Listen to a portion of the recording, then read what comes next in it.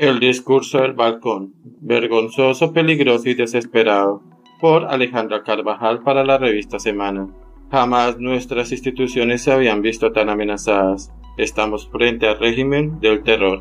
El discurso del balcón del día de ayer nos muestra a un Gustavo Petro solitario, capaz de hacer cualquier cosa con tal de que se le dé la razón. La fortaleza en nuestras instituciones son su principal enemigo, por eso su obsesión por debilitarlas. La estrategia del presidente y su gobierno es equivocada, arcaica y bárbara. El estallido social lo hizo presidente, pero ahora puede derrocarlo, pues es evidente que grupos al margen de la ley mandarán a sus matones para que hagan lo que sea necesario con tal de que no les quiten su paz total. El caos que está generando acabará con su imagen y esto le será cobrado en las elecciones. Desarmar a la fuerza pública hace parte fundamental de la estrategia de alistamiento de la primera línea.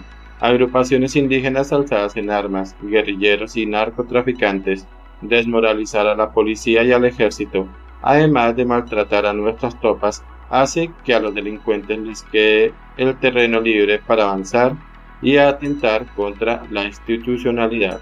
Las barras bravas de los equipos de fútbol hacen parte fundamental del cóctel explosivo de guerrillas urbanas que pretenden auspiciar. Al manifestar el presidente que los hinchas deben ser accionistas de sus equipos y que la transmisión de los partidos por canales pagos será gratuita, les habla al oído. Genera fidelidades en personas que, obnubiadas por su fanatismo, bien sea por un club de fútbol o por Petro, son capaces hasta de matar. Las palabras de Francia Márquez en las que pide vivas para la primera línea comprueban una vez más que para el gobierno no está en la agenda la construcción del país, sino su destrucción. Las reformas, si bien generarán una revolución, será de odio del pueblo hacia Petro, pues sus caprichos son evidentes y hasta el más petrista terminará hastiándose.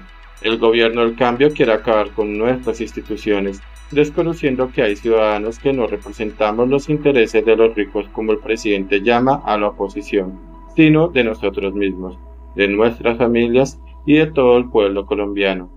Desestima el inquilino en la Casa de Nariño a los millones de colombianos que no votamos por él y a aquellos que lo hicieron y hoy están arrepentidos.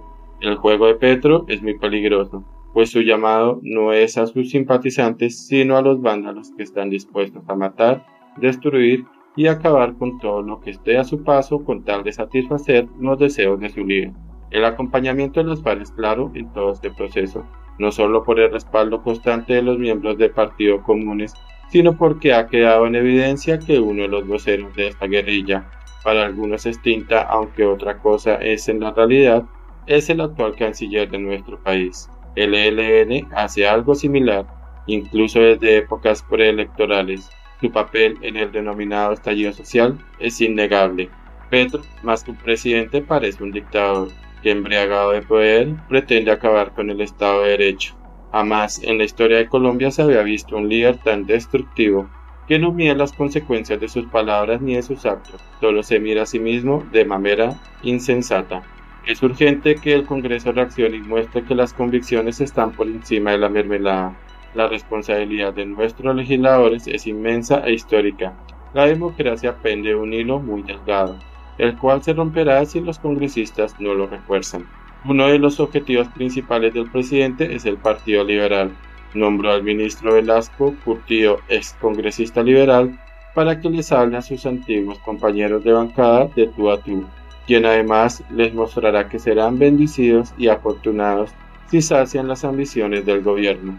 Desde ahora tienen que entender los liberales que no serán ni bendecidos ni afortunados, al final terminarán traicionados por aquel que parecía darles la mano. Petro, al único que no traicionará nunca, será a sí mismo y a su ego. No es difícil entenderlo. Si en algún momento el presidente se mostró como un doctor Jekyll, después de ayer quedó totalmente claro que estamos en manos de Mr. Hyde, que va por todo y que es capaz de todo. Nosotros, ciudadanos libres, miembros de la sociedad civil, que no obedecemos a ningún móvil distinto que salvaguardar nuestra vida, honra y bienes, así como a nuestras familias, estamos en la obligación moral de hacer una oposición seria y responsable que frene la implementación de este régimen del terror.